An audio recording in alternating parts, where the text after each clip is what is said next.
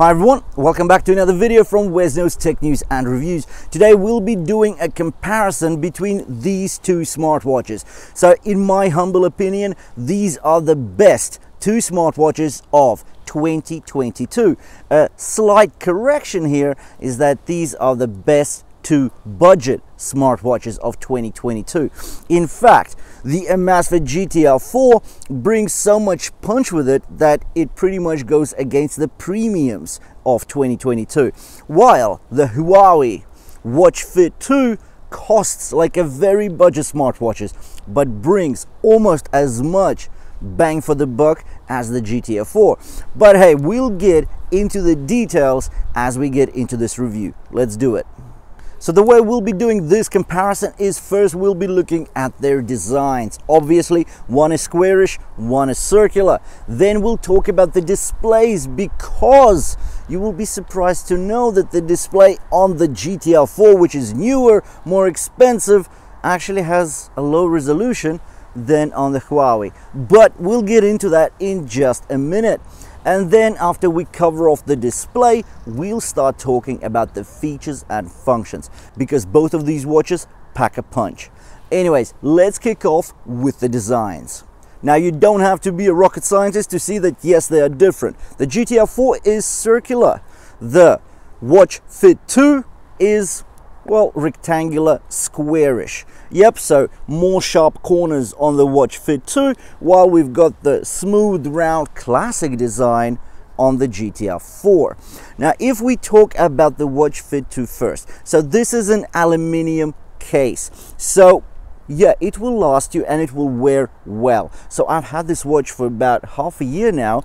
I'm wearing it on and off and I'm yet to find any scratches. Like this is really good construction right here. Now on the underneath though it's not as spectacular. It's sort of dull gray. I think it's also aluminium because it is quite chilly but or maybe it's plastic. I'm just not sure but it just looks well rather cheap. Let's put it that way. Uh, if we talk about the straps well they're integrated into the watch case for that sporty look a bit of the apple look really uh, the good thing is, of course, is that the strap on the Watch Fit 2 is the classic watch type clasp. So it's really easy to put on and it's really easy to take off. Now, I really don't like those tuck and pin clasps. This is the easiest one you can get and it's the best. Now, the only problem I see with the Watch Fit 2 is that the clasp is actually plastic and that's poor that's poor form. But then again if we think about the price 130 quid or 150 bucks for the watch fit 2 so maybe not that bad. Now let's talk about the design of the GTR 4 so here yeah this watch looks bucks. It looks money, it looks premium, it looks class. Now this is an aluminium alloy watch case. It's got two buttons on the side. One actually is a rotatable crown and it's got the red highlighting uh, just on the side here the actual crown has these little treads in it and looks like a sporty tire tread. Look like it's awesome. There's also a second button which is sort of flat against the case down the bottom here. And this is your functional button so it helps you get around the watch easier. Now what you will find is that both of these watches are actually rather slim. So if we look at them well, this one, the Watch Fit 2, is 10.8 millimeters thick, while the GTR 4 is just 10.6 millimeters. So 0.2 millimeter change or difference, that's not much at all. But of course, it's all in the form factor. If we do look at the strap on the GTR 4, well, it's not integrated into the actual watch case. No, it's done like a classic watch. It's got lugs, which thankfully are metal as well so you do feel like this is going to last you a ton of years which is absolutely great. The strap it's silicon. It actually feels like a very nice TPU rubber strap rather than silicon because it's just a bit too wide and a bit too thick. Now if we look at the back of the GTR 4 you will see that, yeah, it just looks a bit more premium. So, uh, the actual underside is black glossy plastic, which looks nice, but where the LEDs actually emit light onto your skin to measure and monitor your heart rate, that portion is glass. And it's quite a big slab of glass here. So yes, it does look more premium. It does look like there has been more thought and more premium gone into this smartwatch. So in regards to the design, the GTR 4 wins hands down. But then again, the price is 200 quid or around the 250 buck mark. What does that say? Well, 120 quid, 200 quid. So this thing is actually 40% more expensive than the Watch Fit 2. Anyways, let's talk about the displays now. Well, we do know that watches, the classic watch types, well, usually they're circular. Of, co of course, there are rectangular watches, there are square watches, there are even triangular watches, but most commonly they are sort of roundish. Well, with smartwatches, we uh, present different information. It's not just the time that you're looking at in a smartwatch. You want to see as much information as possible on these beautiful AMOLED displays. And by the way, both smartwatches feature AMOLED displays. Both have very deep blacks, lots of contrast. The colors are very bright here. But then on the circular display, well, yeah, the watch case might look great, but really it is becoming quite awkward to use all of that space and all of those smudged corners or the cut corners uh, that effectively. On a rectangular screen, it's just easier because you've got more useful space. So if we talk about the sizes of these displays, the Watch Fit 2 gets a 1.75 inch display. That is huge. Now, with the GTR 4, you get 1.43 inches. Now, for a circular display, that's also huge, but 1.75 over 1.43, well, that's like an uplift of about 20%. And additionally to that, it's much more useful space. So, in regards to the form factor, efficiency wise, I think the win goes to the Watch Fit 2. But in regards to the presentation and how it looks, well, I always prefer a circular face to a squarish face. Anyways, now let's talk about the resolutions here. So with the GTR 4, you get 326 ppi. We know this resolution. It's been sort of the flagship slash premium for the last year or two. Now, the Watch Fit 2 actually gets 336 ppi. So this is massive. Even though there's more pixels on this display than on the GTR 4, you actually get a higher resolution. So another really interesting fact about the Watch Fit 2. So I think the win on the display size as well as resolution does go to the Watch Fit 2. If we talk about the displays, how is it to use them? Well, I find that the Watch Fit 2 has this amazing glass on here. Well, First of all, both of these surfaces, well, both of these surface glass is actually Gorilla Glass. So both will save you from the daily wear and tear. They won't scratch easily. Both of these displays have anti-fingerprint coatings as well as anti-glare coating so or anti-reflective coatings so both of these displays they're kind of similar well they're comparable and when you run your finger on both of them yeah the GTR 4 does feel well slightly more premium. But then again this one the watch fit 2 is a bit more interesting because it feels like it's curved. I'm not sure if it is but it does feel like it like it sort of goes around your wrist as it lies on top of it. I don't know so it, it feels interesting and very nice and premium as well. So i'd say the feeling on the glass that's probably an even result. Anyway so we've talked about the designs, we've talked about the displays. Now let's get into the features and functions. Now, I'm sure you don't want me standing out here and telling you all about the basic features and functions like timer, stopwatch, weather widget, yada yada. We know that these watches have that. let's talk about the serious stuff. Well, let's say it. Both get GPS. Five satellite networks on the Watch Fit 2, six satellite networks on the GTR 4. Inbuilt storage, yep, both of them get it. 4 GB, 4 GB. Excellent. So when you do go out on those runs, cycles, and you don't want to take your phone with you, well, you've got media that can be stored on either watch, which is absolutely amazing. Now, microphones, yep, on both. Speakers, yep, on both once again. And that means that not only can you speak into the watch, you can actually listen to music or media out of the watch. And if you're connected via Bluetooth with your smartphone, you can actually take Bluetooth calls. So let's say you're walking down the street, you really don't want to be pulling out your phone there. Well, just pick up the phone on your wrist and speak into the speaker. If we talk about sound quality about these two watches, now surprisingly the sound quality is better on the speaker of the Watch Fit 2. That is surprising, but then again, there's been so many surprises with the Watch Fit 2 that it's sort of surprising, but not.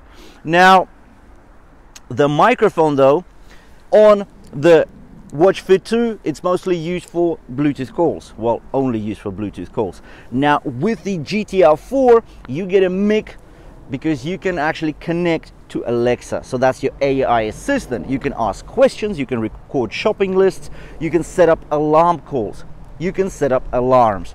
You also get an offline voice assistant, so you can speak into the watch and ask for a certain app to be opened to start a sports mode. You can do so much with both an AI assistant, so an online assistant, as well as offline. So the GTR 4 in terms of the microphone and the speaker functionality wins. But then again, the speaker quality is slightly better on the Watch Fit 2. If we talk sport modes, so we know we've got inbuilt storage on both. We know that we have inbuilt GPS on both. But with the Watch Fit 2, you get 100 sport modes. With this bad boy, you get 154 sport modes. 8 auto-recognized activities. I think it's just 6 on the Watch Fit 2. But that's not it. On the GTR 4, you actually get 25 auto-recognized strength activities. What that means is that when you go to the gym to work out, to do some strength exercises, this watch here can actually auto recognize 25 of those activities. So like the main ones. So you got your squats uh, you got your dumbbell curls you got your pull-ups your push-ups and it actually counts the reps. So this is really awesome. As we know most smartwatches and sport watches alike do suffer with strength exercises. But the Watch Fit 2 does have some things to offer that the GTR 4 doesn't, and that is animated workouts. So yes, you can actually switch on animated workouts and have a look at how to perform a particular activity and it will guide you along the way. So that is pretty cool. You also get 13 preset running courses. So if you want to start running, you want to start training, this thing will help you do it. Even if you're a rather advanced runner, it's got the courses for you. Now you do get live broadcasts on both the Watch Fit 2 as well as the GTR 4, meaning that while you're doing a particular sport mode, the watch will push you more and tell you, whoa, you got to increase or decrease your pace, you got to slow down, it's going to tell you your times, your lap times. So it's going to keep you engaged in your sport activity. So again, live broadcast is quite innovative. And again, it's on both here. So you can connect your earbuds to both of these smartwatches. And if you don't have any earbuds in, that's fine because you do have an inbuilt speaker. Now, both of these watches, of course, do monitor your continuous stress monitoring. They do your sleep monitoring. So you do get your deep light and REM sleep monitored by these two smartwatches. But, aha, if the Huawei Watch Fit 2 actually uses True Sleep technology, which is actually pretty advanced. And we know that True Sleep was developed in conjunction with the Harvard Medical School, so there is a bit of name to it, there is a lot of credibility to it. It does actually monitor your naps as long as they're over 30 minutes long. So the sleep monitor is very accurate on the Huawei. So with the GTR 4, it's not just the deep light and REM sleep that it monitors, it also looks at your naps. But now, even if they're just 20 minutes long, so on the Watch Fit 2, it's 30 plus, on the GTR 4 it's 20 plus. Now my naps, well, I don't really take naps, but if I did, I Mm, I think they'd be on the shorter side. So again, it just seems that the GTR 4 is a bit more advanced. Now, the GTR 4 takes sleep to the next level. Not only does it look at your heart rate during your sleep, same as the Watch Fit 2, it also looks at your breathing quality. And that's the breathing rate as well as the breathing quality. So that is a step up in terms of sleep monitoring. Now, both of these watches do offer continuous SpO2, aka blood oxygen saturation. I don't find much of a difference. I've done I've tested them both on a finger pulse oximeter and both of them seem to be within about 1 to 2% off. So nah, that looks about normal in the market. So that's fine. Both do offer 24-7 heart rate monitoring, but of course they do. Why else would you pay so much money for a smartwatch? In regards to accuracy though, well, we were really impressed with the Watch Fit 2. But we were not just impressed, we we're absolutely amazed by the accuracy on the Amazfit GTR 4. So this is pretty much it. These are the coolest functions about these watches. Now, the Watch Fit 2 is 130 quid, 150 bucks, 200 quid or 250 bucks. Which one is better? Well, I would say functionality wise, looks wise, the GTR 4, yeah, it's better. It's got the crown, the rotatable crown it's got these amazing looks. Like wow it just looks super premium. In regards to functionality well you get a bit more on the sleep side. Well you get your breathing rate and breathing quality during your sleep. Yeah that, that's nice. Uh, you get a bit more sport modes well actually 54% more sport modes which is great if you think about it. Um, you've got one extra satellite network here which is also it's it's, it's better fine. But then it does cost 80 pounds or 100 bucks more. That's a lot of money. But really i think if we talk about the main things we know that both of these watches are very accurate in terms of heart rate accuracy. Gps accuracy is comparable haven't tested it on the GTR 4, really good on the Watch Fit 2. So considering this one has an extra satellite network, I would imagine it's even better. But again, they're both as good as they get. You get inbuilt storage for your media, for your music, for your podcasts. You've got inbuilt microphones as well as inbuilt speakers. Now you do get an offline assistant here as well as an online assistant. That's awesome, that's great but how often are you really going to use it? What I do like on the Watch Fit 2, you get those animated workouts. That's really cool stuff. You also get the 13 running courses. Well, you get live broadcasts on both. So it seems to me like the Watch Fit 2 is just like a budget version of the GTR 4. And now it's up to you to think, well, how much value are, are you really going to get from the GTR 4. Maybe you should just save a bit of money and get yourself the Watch Fit 2, which is an amazing value budget smartwatch. Anyways, thank you for watching this review and comparison of the Huawei Watch Fit 2 as well as the Amazfit GTR 4. If you enjoyed it, please drop me a like. If you want to see more of the same, you know what to do. Please hit the red subscribe button below the video. And I'll see you in the next one.